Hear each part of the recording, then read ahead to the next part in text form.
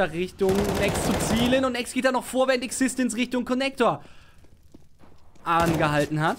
Oh, sehr schön, wie Nex hier noch die Info vom Türspieler bekommt. Das wusste er aber eigentlich schon vorher. Aus der Richtung wurde auf ihn geschossen.